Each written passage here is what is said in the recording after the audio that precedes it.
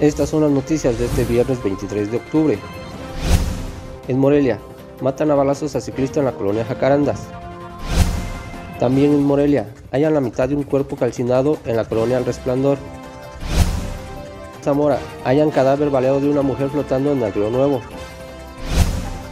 Y en Zamora, hombres muertos a balazos a las afueras de su casa. Iniciamos. ¿Qué tal amigos de la agencia de noticias Red 113? Es un gusto que nos acompañen este día en otra transmisión de este su noticiario. Te arrancamos la información. Un ciclista fue asesinado a balazos en la colonia Jacarandas, esto en la ciudad de Morelia. Un ciclista fue ultimado a balazos en la colonia Jacarandas de la ciudad de Morelia. El muelle del homicidio es una incógnita. El hecho violento tuvo lugar sobre la calle Esther Tapia entre las vialidades María Fermina Rivera y el Odia Romo en las cercanías del río Chiquito y de la avenida Michoacán. Trascendió que algunos vecinos solo escucharon detonaciones de arma de fuego y al asomarse, vieron a la víctima inerte, así que avisaron al número de emergencias 911. Se supo que el interfecto es de complexión media de tez morena.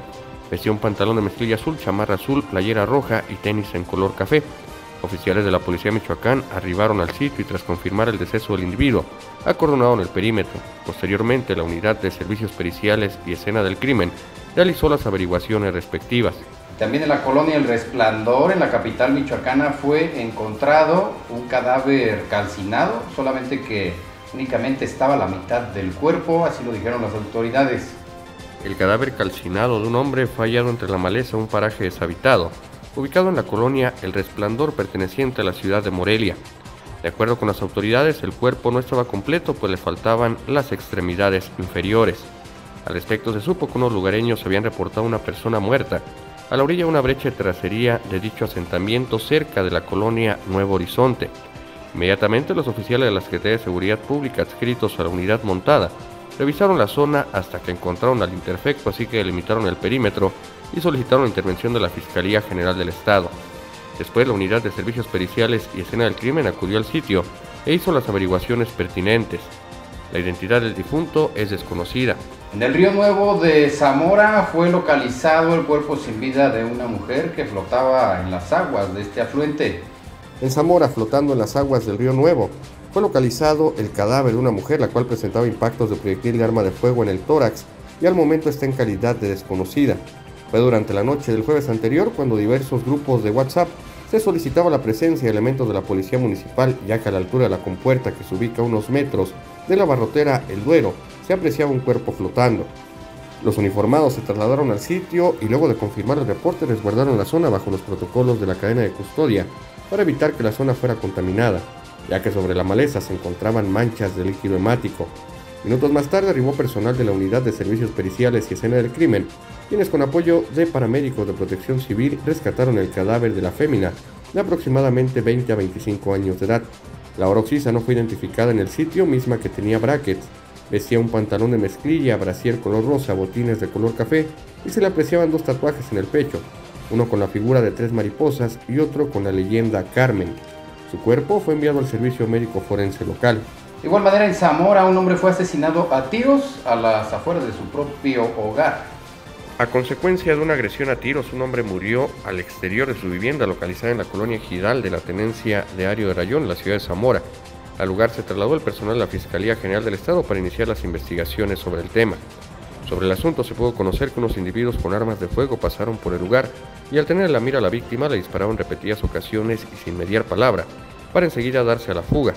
El hecho fue en la esquina de las calles Dolores Cano y Santiago Moreno. Los primeros en llegar a atender la emergencia fueron paramédicos de protección civil, quienes confirmaron la muerte de Manuel B. de 46 años de edad. Peritos y agentes de la Fiscalía General del Estado se hicieron cargo de las indagatorias competentes y trasladaron el cadáver al servicio médico forense.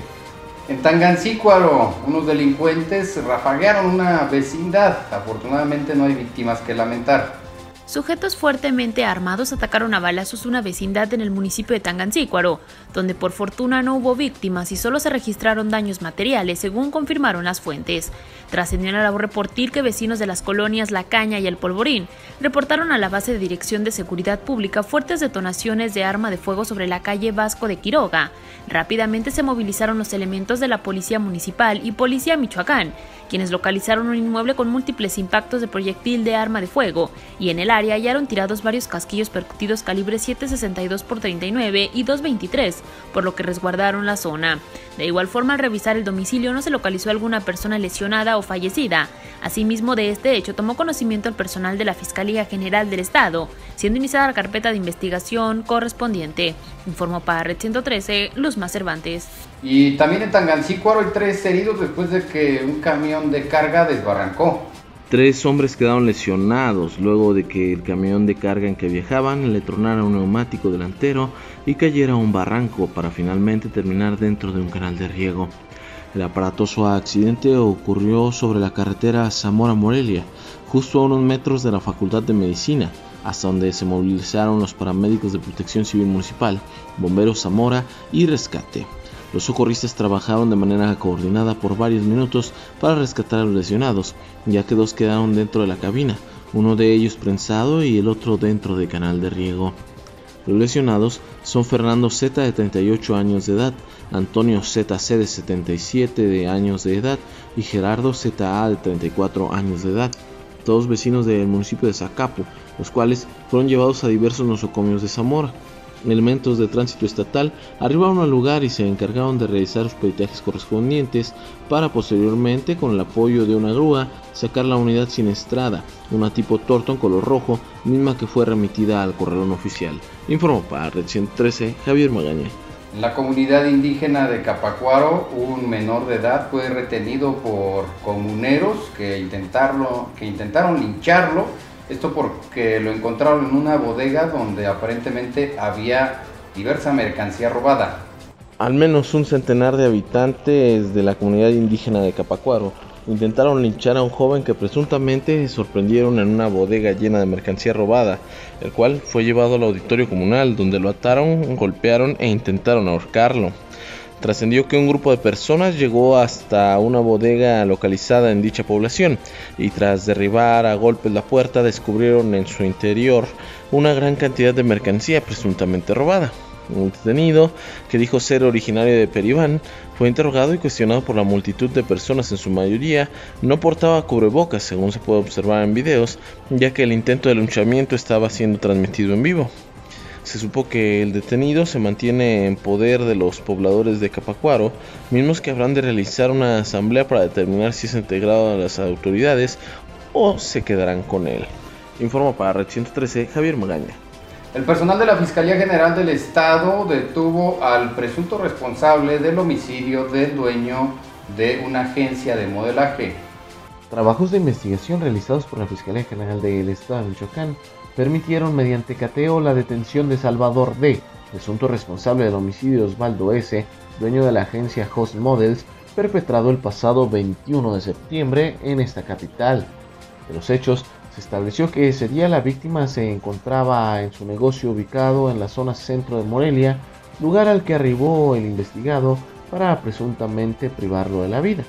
Horas más tarde, Salvador D Salió del establecimiento y subió el cadáver en una camioneta Jeep Liberty color negro propiedad de Osvaldo S.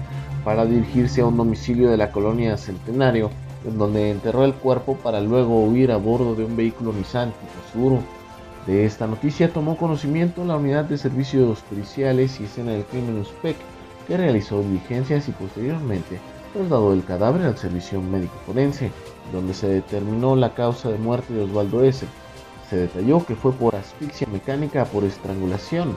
Ante estos hechos, la Fiscalía de Homicidio Doloso integró la carpeta de investigación y recabó datos de prueba. Estas señalaron que hubo la posible participación del investigado en el delito, por lo que se solicitó ante un juez de control la respectiva orden de aprehensión, misma que fue cumplimentada mediante el cateo en el municipio de Acuixio Salvador D será presentado ante el órgano jurisdiccional en próximas horas para resolver su situación legal. Informó para Red 113 Javier Magaña. Y el fiscal general del estado de Michoacán, Adrián López Solís, exhortó a los ministerios públicos a poner en alto el nombre de la institución. A poner en alto a la institución y continuar trabajando con profesionalismo y honradez, exhortó el fiscal general del estado de Michoacán, Adrián López Solís, a las y los agentes del Ministerio Público a fin de atender el reclamo de las víctimas de un delito para garantizar su derecho a acceder a la justicia. Esto en el marco de la entrega del reconocimiento Sentimientos de la Nación, realizado en conmemoración al Día Nacional del Ministerio Público, el titular de la Fiscalía General del Estado reconoció el trabajo que realiza cada agente que día a día pone a prueba sus capacidades, enfrentándose a diversos retos en materia de procuración de justicia. Son los agentes del Ministerio Público quienes conducen la investigación, quienes se encargan de integrar las carpetas y defender las causas en los juzgados. Cuando nos va bien y convencemos a un juez, la víctima se siente satisfecha. Para nosotros debe ser nuestra mejor recompensa. Por eso no podíamos dejar pasar inadvertida esta fecha, expresó el fiscal general. A las y los asistentes expuso la importancia de manejarse bajo los conceptos de legalidad y respeto alejándose de las malas prácticas y poner por encima de todo su responsabilidad para brindar a las personas atención con objetividad y respeto a sus derechos humanos a fin de reforzar la confianza de la ciudadanía. Informó para Red 113 Javier Magaña. Y patrullar a caballo es una forma diferente de combatir al delito. Aquí está la información sobre este tema. Las acciones operativas que implementa la Policía Michoacán para combatir el delito son diversas como la realización de recorridos en brechas y veredas, sitios apartados de la mancha urbana pero no de la presencia de los agentes policiales. Para ello existe la unidad montada de la Secretaría de Seguridad Pública, cuyos elementos realizan patrullajes a caballo de manera permanente en las zonas rurales de la capital michoacana. Nuestro trabajo consiste en realizar recorridos de prevención del delito y de proximidad con la gente, además de llevar a cabo recorridos en zonas rurales donde no entran vehículos oficiales, afirmó Silverio Garnica Arreola, comandante de la unidad montada. La jornada de disuasión del delito comienza a temprana hora con la preparación de los binomios, realizando labores básicas para que los equinos estén en condiciones de operar, refiere el agente de la policía montada Giovanni Alegre Sixtos. Esta estrategia de seguridad ha permitido hacerles frente a conductas ilícitas como venta y consumo de droga, así como el robo en sus distintas modalidades lo cual los dispositivos de seguridad se despliegan en colonias con mayor incidencia, según puntualiza Garnica Arreola. El agrupamiento se conforma de 24 caballos y 34 elementos policiales, quienes con vocación de servicio efectúan labores preventivas y disuasivas del delito, brindando apoyo de manera permanente a los morelianos. Informó para Red 113 Javier Magaña. Vamos a hacer una pausa, queridos amigos, pero quédense con nosotros en Red 113, aún hay más información. Volver a empezar nunca es sencillo, pero siempre hay que estar dispuestos a seguir adelante. En la nueva convivencia, debemos aprender a cuidarnos entre todos, reforzar las medidas de higiene y mantenerlas en nuestra vida diaria. Debemos continuar, paso a paso, sin olvidar que el COVID-19 está en todas partes. La nueva convivencia la construimos entre todas y todos los michoacanos. Gobierno de Michoacán. Michoacán se escucha.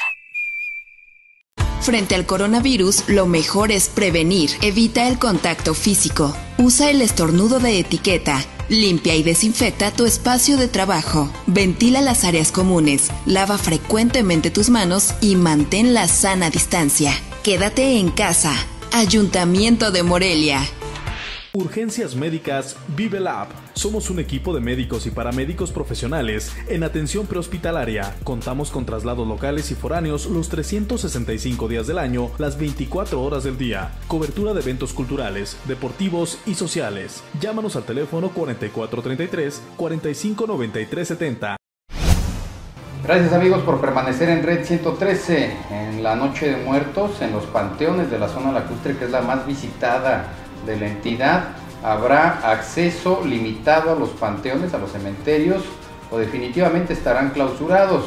Aquí está precisamente el detalle de cómo va a estar la cosa para la Noche de Muertos en aquella parte del estado. En el marco de la nueva convivencia que impera en Michoacán, derivada del comportamiento epidemiológico del COVID-19, los panteones de la región de la ribera del lago de Pátzcuaro tendrán acceso limitado o cerrarán sus puertas durante la Noche de Muertos, lo anterior para privilegiar la salud de los visitantes y los locales. En este punto, será obligatorio para todos los ciudadanos acatar y respetar los protocolos y horarios establecidos para el ingreso a los panteones en todo el estado, mismos que estarán colocados en sitios visibles para que las personas los puedan observar. Como punto principal se deben respetar las capacidades de acceso contempladas en el plan de la nueva convivencia, que indica que solo se permitirá un cupo del 50% en hoteles, restaurantes, museos y en las diferentes actividades que se programen. Por ello, se dará entrada a visitantes a los panteones bajo estrictas medidas de seguridad sanitaria, específicamente en la zona lacustre de Pátzcuaro, informó para Red 113 Luzma Cervantes. El secretario de Gobierno Carlos Herrera Tello dice que celebrar la Noche de Muertos desde casa es un acto de corresponsabilidad. Esto porque aún hay un alto riesgo de contagios por coronavirus. El secretario de Gobierno Carlos Herrera Tello lanzó un llamado a las y los michoacanos a celebrar la Noche de Ánimas desde casa para evitar brotes de contagio de COVID-19. El encargado de la política interna invitó a la ciudadanía a colocar un altar de muertos en casa y festejar a los fieles difuntos sin acudir a cementerios. Debemos evitar las concentraciones masivas y anteponer la salud de todos y todas. Sabemos que la tradición es muy importante para nuestra cultura ancestral pero no debemos bajar la guardia porque la ola de contagios sigue. La epidemia no está controlada y necesitamos de la tarea de todas y todos, se expresó. Relatello puntualizó que con 23.690 casos y 1.995 defunciones en Michoacán, el COVID sigue causando dolor y malestar en las familias, por lo cual invitó a seguir las medidas sanitarias, lavado constante de manos, uso de gel antibacterial, evitar saludar de mano, beso o abrazo, y no frotarse los ojos, nariz o boca y mantenerse en casa. Informó para Red 113 Javier Magaña. Asimismo, en el estado continúan prohibidos los eventos masivos, esto en el combate al COVID-19. Debido a que el virus del COVID-19 sigue latente en Michoacán, continúan prohibidos los conciertos, eventos masivos, velorios, manifestaciones y marchas en el marco de la nueva convivencia que ha establecido el gobierno del estado para cuidar la salud de las y los michoacanos y en donde la entidad no ha logrado avanzar al tercer paso debido a que los contagios de coronavirus no cesan, este tipo de eventos de carácter público continúan prohibidos. De esta manera, para evitar brotes de contagios de COVID-19, los protocolos establecen la prohibición de velorios y sepelios, eventos públicos de más de 50 personas, manifestaciones, marchas, eventos turísticos como fiestas patronales y ferias de comunidades, partidos de fútbol, conciertos y cualquier evento que se considere masivo. En este punto, para cuidar la salud de todas y todas, es necesario que sigan acatando las medidas sanitarias implementadas por las autoridades de salud, como el uso obligatorio de cubrebocas en lugares públicos y la aplicación constante de gel antibacterial. Informó para Red 113, Javier Magaña. Y las motocicletas nunca emplacadas podrán regularizarse a partir de ya. Aquí por el detalle de esta información por si usted le interesa. La administración encabezada por el gobernador de Michoacán, Silvano Aureoles Conejo, implementará a través de la Secretaría de Finanzas y Administración un programa en apoyo a la economía de las y los motociclistas, mismo que entra en vigencia a partir de hoy y hasta el 31 de diciembre. Todos los propietarios de motocicletas que por diversas razones o circunstancias no hayan podido realizar el emplacamiento de su motocicleta tendrán la oportunidad de hacerlo, obteniendo el apoyo económico en la condonación de multas y recargos en este rubro. Solo tienen que cubrir el costo por la placa que para este 2020 es de 504 pesos y el del engomado con un costo de 299 pesos, por lo que en total sería un monto de 803 pesos, además de presentar en original y copia identificación oficial con fotografía INE, comprobante de domicilio no mayor a 90 días y la factura o carta factura del vehículo. Informó para Red 113 Luzma Cervantes. Gracias amigos por permanecer con nosotros en Red 113. Ha concluido el noticiario del día de hoy, pero recuerde que mañana nos puede seguir en el resumen semanal que se transmite en vivo a las 3 de la tarde, repetición 8 de la noche y sus repeticiones el domingo 3 de la tarde y 8 de la noche a través de Canal 6 gracias a esta alianza que tenemos con Media Group. También se transmite a través de las redes sociales de Red 113. Esté bien al pendiente de la información. Tenemos un resumen de seguridad y también tenemos diversas entrevistas eh, de toda naturaleza, eh, de política, también tenemos eh, reportajes que seguramente les van a interesar a ustedes. Recuerden seguirnos de igual manera a través de las diferentes plataformas en las que nos encontramos, Twitter, Instagram, Facebook y YouTube. Nos encuentran como Red 113. Les mando un fuerte abrazo y también saludos a todos los médicos hoy en su día en especial a nuestro querido doctor Ignacio Martínez. Le mandamos un saludo y un fuerte abrazo. Que tengan todos una excelente noche.